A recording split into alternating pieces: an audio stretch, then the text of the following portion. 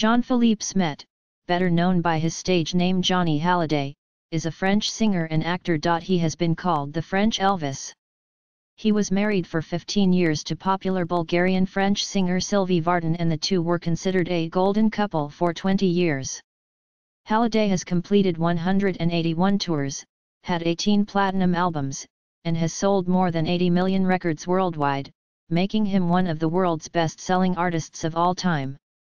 Hallyday remains largely unknown outside of the francophone world, thus earning the nickname the biggest rock star you've never heard of in English-speaking countries. Nevertheless, at an international level he is still considered as the only non-Anglophone rock musician having a large international reputation. He was made Chevalier, Knight, of the Legion d'honneur in 1997.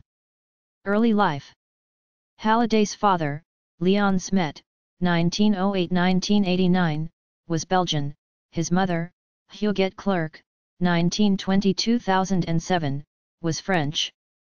Born in Paris, Hallyday took his stage name from his aunt Desta's husband and dance partner Lee Halliday, a pseudonym for Lee Ketchum, an expatriate Oklahoman performer and MC at the Café de Paris where Johnny began his singing career. Johnny was raised by Desta and Lee from a very young age, with Lee being his first manager. Johnny was always very loyal to Lee and secured him a permanent job as a producer and on-air man with his label, Philips Records until Lee's retirement and relocation back to Oklahoma. Career Influenced by Elvis Presley and the 1950s rock and roll revolution, Hallyday became famous in the 1960s for singing rock and roll in French. His debut single, Les Les was released on the Vogue label in March 1960. His first album, Hello Johnny, was released in 1960. In 1961 his cover of Let's Twist Again sold over 1 million copies, and was awarded a gold disc.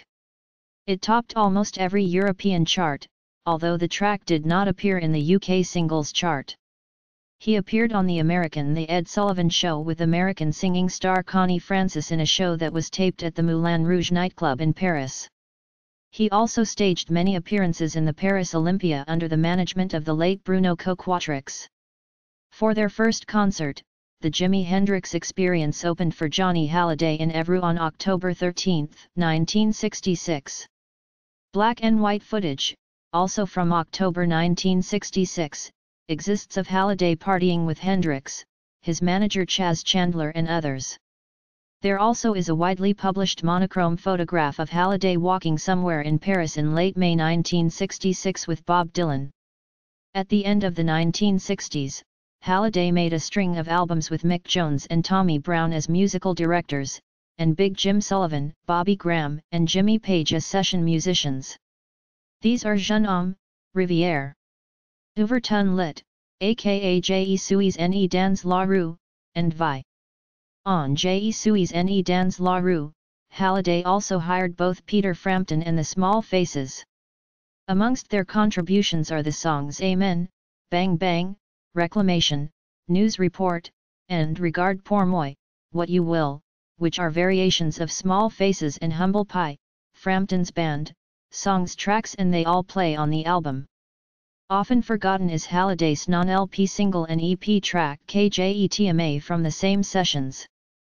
By 1969 alone, his sales of records exceeded 12 million.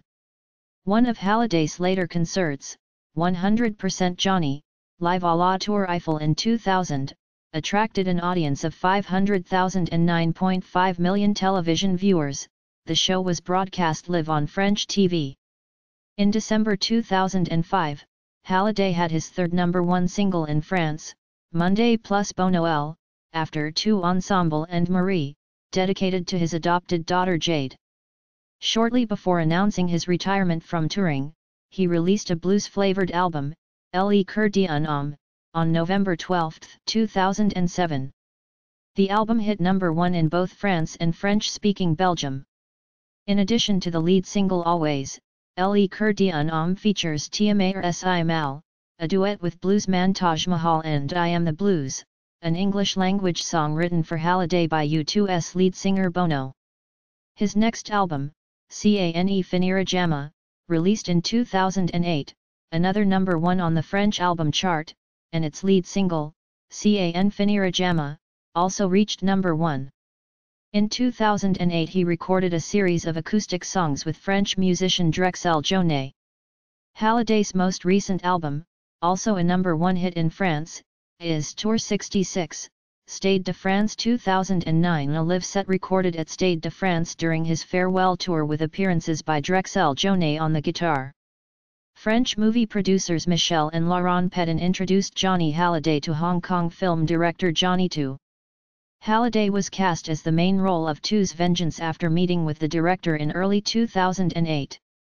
The shooting began in November 2008 and concluded in February 2009. Personal life Hallyday was introduced to the great chanteuse Edith Piaf in the late 50s and became one of her biggest fans up until her death in 1963. He attended every concert she performed in and was said to have been friends with her throughout his career. In a recent article he claimed that Edith tried to seduce him during a dinner with her in 1960, and resulted in him fleeing from her in despair, but a 1962 photograph of Edith, her husband Theo Sarapo, and Hallyday shows that she earned his trust back. Hallyday performed Edith's 1950 hit Hymne à l'amour in 1995. In November 2005, Hallyday started a procedure to obtain Belgian citizenship but his request was turned down in 2006 because he failed to fulfill the residence requirements.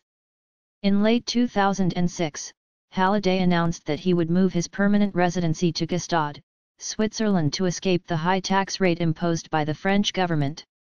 Swiss law allows wealthy individuals to claim residency if they live six months and one day in the country and then pay a fixed tax based on expenses, such as rent or assets in Switzerland, rather than a percentage of their income.